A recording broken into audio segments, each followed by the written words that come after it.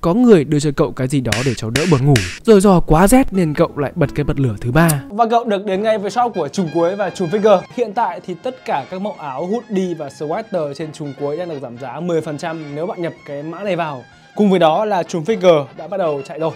Như các bạn đây ở đây với một cái giá rất là rẻ là 300 Còn chân chừ gì nữa mà không sắm ngay cho mình một chiếc áo, một cái figure Để uh, cuộc sống thật là vui đừng như thằng Ken kia bị đút kem mồm sau khi nhận được những ý kiến yêu cầu recap phần 2 của trường học Uy Long, chúng tôi đã đem nó đến với các bạn rồi đây. Phần 2 mở ra với một cuộc giải cứu con tin. Tuy nhiên lần này khác trước, anh Tinh không còn là người trực tiếp tham gia nữa. Vậy anh Tinh đang ở đâu? Sau khi hoàn thành nhiệm vụ ở phần 1, anh Tinh trở lại với đội đặc nhiệm Phi Hổ với vai trò là đội trưởng, trực tiếp ra tay uốn nắn lũ lính trẻ. Trong lần tập huấn này, nhiệm vụ của anh là ngồi ăn mì với topping là cuốn sách mát mẻ, đợi có người đến cứu. Sau một loạt đạn sấy cả địch lẫn con tin, đám lính trẻ bị anh Tinh xả cho một trận vuốt mặt không kịp. Cũng may là từ mai anh Tinh sẽ không phải huấn luyện cái đám này nữa, vì sau đó anh sẽ được thăng chức trong không khí vui tươi sảng khoái. Cuộc sống nở hoa của anh Tinh thì là cuộc đời của chú Đạt lại đi vào bế tắc. Lâu đài tình ái vừa đóng cửa không cho chú vào. Chú chuyển từ khu vực friend zone sang người lạ ơi zone, đang đau buồn vì câu chuyện tình giang dở. Thì chú Đạt nhận luôn một gáo nước lạnh thẳng vào mặt. Thủ phạm là một thằng xã hội thâm đang bị hỏi cung ở bàn bên. Hết khè công an còn quay sang tay chân miệng với vợ. Đại trượng phu thấy bất bình chẳng tha, lại còn đang buồn cần chỗ xả Chú Đạt xin tiếp quản tên này để dạy dỗ cho hắn một bài học về cách ứng xử. Nhưng có vẻ việc này hơi quá sức với chú. Ngay cả khi được anh Tinh hỗ trợ thì chú Đạt vẫn là cái bị thịt vô dụng cho tên kia luyện cơ tay. Bỗng bà sếp bước vào, không thể để mất mặt cho phụ nữ. Chú Đạt liền kim thiền thoát xác, chỉ với một cú đấm đã hạ khiến tên kia gục ngã. Với nhan sắc tuyệt đỉnh theo nghĩa tiêu cực, lại thêm hành động men lì, biết bảo vệ phụ nữ. Chú Đạt đã thành công chiếm lấy một slot trong team bà xếp tổng. Nhờ Mỹ Nam kế này, chú Đạt đã một bước lên hương, không những được thăng chức mà còn được điều vào tổ trọng án. Còn anh Tinh vì cái thói dám xem thường người khác, miệng nhanh hơn nã mà bây giờ anh Tinh được đưa xuống tổ giao thông. Sự nghiệp đứng đường mồm ngậm còi tay chắp dùi cui của anh Tinh xem chừng quá bất ổn. Anh Tinh được cấp cho con xe, giao diện là xe máy nhưng bộ động cơ lại là căng hải. Hàng ngày công việc chính của anh là lập biên bản giao thông, tấp xe và lề đường, tham gia điều tiết giao thông. Thời oai hùng của tay bắn số 1 phi hổ nay còn đâu? Ra đường bây giờ đẩy xe buýt cũng không nổi Lại còn bị trẻ con nó khinh cho là đồ vô dụng. Sự nghiệp mới nhú của anh Tinh coi như bế tắc tại đây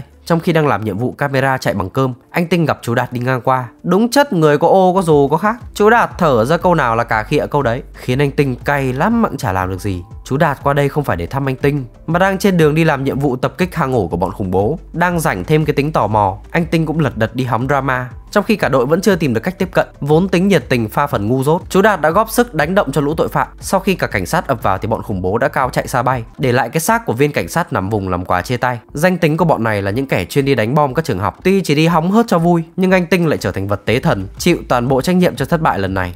Đúng là đã đen còn lắm lông Đã bị đẩy xuống làm giao thông rồi. Đi hit tí drama cho nó bổ phổi mà cũng bị phạt. Quá hàn học về cuộc đời nặng nhọc.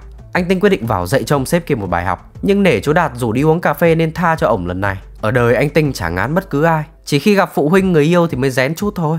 Bây giờ anh Tinh và cô giáo Hồ đã là một cặp. Lần này bố mẹ cô giáo sang thăm để bàn bạc việc cưới hỏi, Nhưng như bao cặp đôi khác, Vấn đề đầu tiên luôn là tiền đâu. Sau vụ đầu tư cho bộ âm thanh siêu to khổng lồ tại nhà để hát karaoke cho thêm phần sinh động, Anh Tinh chả còn lại bao nhiêu tiền? Điều này cũng không làm khó cho cô Hồ. Một khi đã mót cưới rồi thì liêm sỉ gì nữa. Thế là cô đưa luôn cuốn sổ tiết kiệm cho anh Tinh, Lo phần lễ cưới và chuẩn bị mua nhà. Trong khi anh Tinh đang nghĩ về tương lai cuộc sống sau này thì chú Đạt cầm một bộ hồ sơ về vụ án quan trọng sắp tới. Sau một hồi đọc, anh Tinh nhận thấy thời của mình đã tới. Ngay ngày hôm sau, anh Tinh mạnh dạn đến ứng cử với bà sếp kia. Chứ vụ này mà giao cho chú Đạt là có khi bài vị nhà chú hết chỗ chứa. Ngoài đời thì có thể hèn nhưng đứng trước gái là phải khí khái. Thà chết chứ nhất quyết phải lấy lè với sếp. Chú Đạt tuyên bố giam ba khủng bố tuổi con dế Dưới sức ép của bà sếp lại thêm sự khinh thường của bộ chính trị Nên anh Tinh quyết định dẹp mẹ công việc về lấy vợ cho lành nhưng khi nhìn lại những chiến tích của mình, anh Tinh lại có phần nghẹn ngào, nghĩ về thủa oai hùng nay còn đâu. Không thể để kẻ khác coi thường mình như vậy được. Anh Tinh quyết định comeback với sự nghiệp nằm vùng. Theo hình thức tư nhân, lần này ra đi, anh Tinh cần thêm một vài phụ tá với yêu cầu nhanh lẹ, trí dũng song toàn. Và những kẻ được chọn chính là mấy thằng đàn em cũ trong nhiệm vụ trước. Chắc anh phải tuyệt vọng lắm mới phải nhờ đến tụi này. Ngay cả mấy đứa đó cũng nhận ra mấy lời mị dân của anh Tinh vẫn là phong cách chơi cũ. Vật chất quyết định hành vi, Anh Tinh đánh bỏ tiền ra thuê chúng đi học cùng. Và mục tiêu đã được xác định đó là trường Adam Smith, Nơi hội tụ của lũ con cái của giới chức quyền. Nói là làm. Ngay sau đó, anh Tinh đi nhập học cho cả bốn đứa. Với học phí nghe thôi đã làm choáng mình. Chưa kể đến tiền sách bút, đồng phục, phí lọ phí chai. Vậy nên anh đành cho giàn âm thanh kia đội nón ra đi. Bonus thêm cả tiền lấy vợ mua nhà nữa. Vụ này mà thất bại thì cuộc đời anh coi như còn cái nịt Lần đầu tiên đến trường bỡ ngỡ. Đến nỗi mãi vẫn chưa tìm ra được lớp học. Cũng may trong lúc cùng quẫn không biết lối nào mà nần, Anh Tinh gặp được một cô bé loli đáng yêu. Sau vài đường khua môi múa mép, anh Tinh không chỉ lấy được địa chỉ lớp học mà còn gieo vào trái tim cô nàng này cầu vồng rồi duyên kiếp đẩy đưa cho hai người này gặp lại trong lớp học. Nhìn cặp mắt này đi, có thấy sự nửng không? Trước đó, nhóm anh Tinh cũng gặp đám cảnh sát do Bộ Chính trị cài vào. Mặc những lời của quân triều đình, anh Tinh vẫn khẳng định mình đến đây là để học, khiến đám lính của Bộ Chính trị cũng cạn lời để anh Tinh đi. Cũng như bao ngôi trường khác, bất cứ học sinh nào đến trường đều phải gặp chủ nhiệm huấn đạn và ngạc nhiên chưa? Người đó lại chính là chú Đạt. Dưới con mắt theo dõi của Bộ Chính trị, chú Đạt buộc phải ra tay với anh Tinh. Để anh biết khó mà lui, biết sức mình có hạn. Nên chú gạ kéo anh Tinh để chú đánh. Lát ra chú cho 800 đồng nhưng làm lố quá thì nó lại ô dề Chẳng biết như nào mà chú nỡ cho anh Tinh một gậy. Sùi bọt mép, bất động đậy luôn. Phong độ đi học như đi chơi, Nghe giảng cho dễ ngủ, Tiếp tục để anh Tinh phát huy. Ngay cả người có quyền lực hơn cả hiệu trưởng như cha xứ, Cũng bị anh ship hỏa tốc cho một cú đấm. Và cái giá phải trả cho màn chơi ngu lấy tiếng, Là anh Tinh bị đóng vào cột rồi chạy lên núi. Chú Đạt cũng thừa nước đục thả câu. Tranh thủ quất anh Tinh thêm mấy roi, Ra vẻ chẳng được bao lâu. Chú Đạt đã được anh Tinh kéo vào nhà vệ sinh, Tẩm quất cho một trận ra trò. Trả hết cả vốn lẫn lời luôn trong lúc đang hăng say trả nợ cho chú Đạt, anh Tinh nghe được thông tin nhân vật quan trọng trong nhiệm vụ lần này là Sandy, cô gái mà đang dụng chứng liên tọ trước anh. Thời tới cản không kịp. Nếu bàn về tán gái thì anh thuộc rank thách đấu mẹ rồi. Từ pha đấm xuyên quả bóng rổ, rồi màn khiêu vũ cha cha cha trên sân đấu judo anh Tinh luôn khiến Sandy xỉu áp xỉu đao, ngất lên ngất xuống trong hơi men của tình yêu. Trước những động thái tiếp cận Sandy của anh Tinh, Bộ Chính trị buộc phải nhúng tay và ngăn cản. Nhưng ngăn cản kiểu tạo drama thế này thì thật là bất ổn. Viên cảnh sát kia cũng nói rằng Sandy thực tế không liên quan gì đến vụ án, nhưng mấy lời nói này ai mà tin được? Thả thính đã lâu, cuối cùng cũng đến ngày kéo cá. Nhưng ngặt nỗi kè kè bên cạnh cô nàng luôn là bà chị quái dị. Vậy nên anh Tinh quyết định dùng kế dương đông kích tây. Lấy một thằng đệ làm vật hiến tế cho cô chị, Để mình có thể dễ dàng tiếp cận cô em. Sau một hồi chạy như ma rượt để tạo bầu không khí tự nhiên, Anh Tinh mượn cớ vô tình gặp mặt để được ngồi bên Sandy. Chưa kịp nói gì, Thì ai ngờ là Sandy đã lên tiếng tỏ tình. Thậm chí còn mời để anh sơi. Hàng họ tên này em còn được mời nữa thì Tội gì không ăn cả vỏ. Nhưng anh Tinh khác tôi. Lương tâm để đâu, đạo đức để đâu. Nên anh đành kìm nén cảm xúc Lấy tay thay miệng đáp trả nụ hôn Không thể để sắc dục làm mờ con mắt.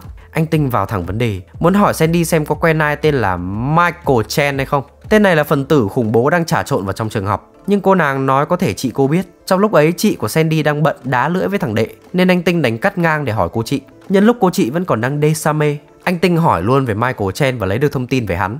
Thấy chị mình hôn thôi mà phê quá. Sandy định rủ anh Tinh làm chuyện ấy. Thôi thì vì nhiệm vụ Chỉ bằng cho em ấy thử một lần để xem em có trầm trâu. Và rồi ma lực của nụ hôn Càng khiến cho Sandy mê đắm anh Tinh hơn. Nếu tán gái là một nghệ thuật thì anh Tinh chính là một nghệ sĩ. Còn khi các tác phẩm của môn nghệ thuật ấy gặp nhau Thì nó lại là thảm họa. Không biết run rủi thế nào Mà cô giáo Hồ cùng gia đình lại đến trường này. Mặc cho đã chuẩn bị từ trước, Nhưng lưới trời khó thoát. Kẻ tà răm thường có ma đi theo. Và con ma đó chính là chú Đạt cứ ngỡ sắp chim cút thành công, ai ngờ chú đạt xuất hiện làm hư cơm hư cháo hết. Tất cả mọi chuyện chú đều tuồn sạch. Từ chuyện bị sa thải cho đến lý do cặp với Sandy, Xuất sắc nhất là vụ lấy tiền cưới đi làm nhiệm vụ. Rồi xong còn gì nữa đâu mà khóc với sầu. Đời anh Tinh coi như là bỏ thật rồi. Cứ tưởng sau khi vỡ lở mọi chuyện, Sandy sẽ chủ động rời xa anh.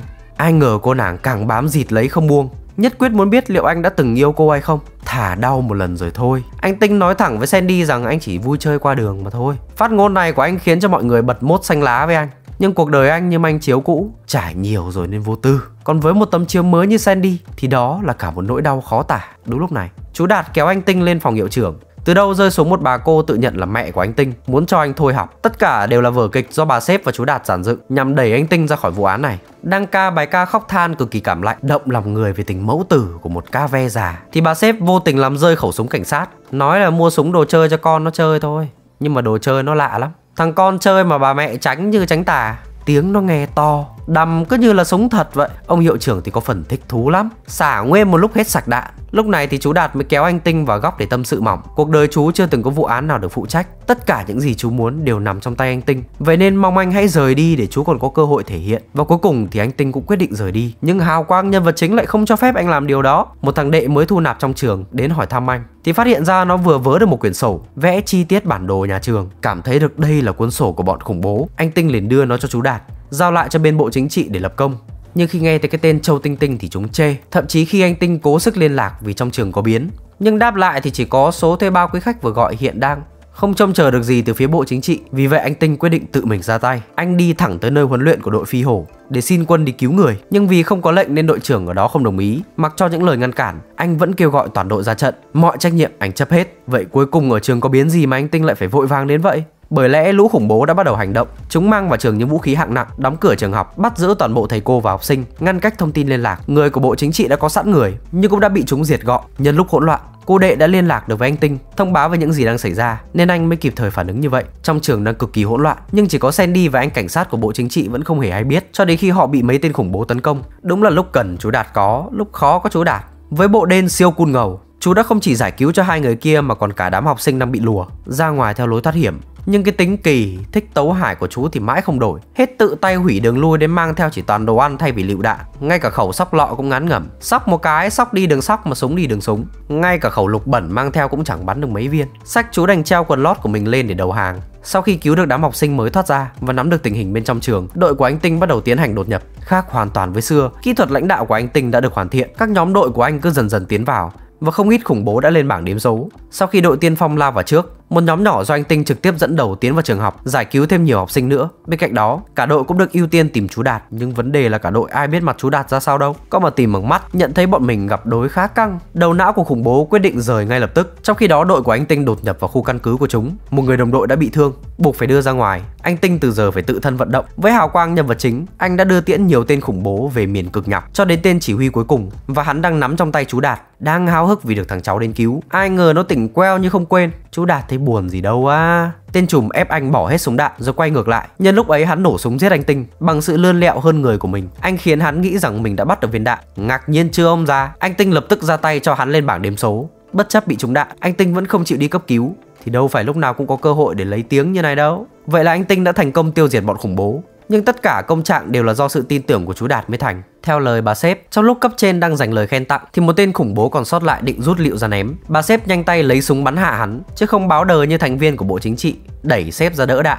Sau những chiến tích giành được, anh Tinh sẽ được cân nhắc lên làm tổng thanh tra. Liệu rằng anh Tinh có được thăng chức như mong muốn và lấy lại tình cảm của cô Hồ trước lũ ruồi bâu xung quanh hay không? Hay đón chờ recap trường học Uy Long phần 3 Bao giờ lên sóng thì tôi cũng không biết nữa Tôi còn quại Xin chào và hẹn gặp lại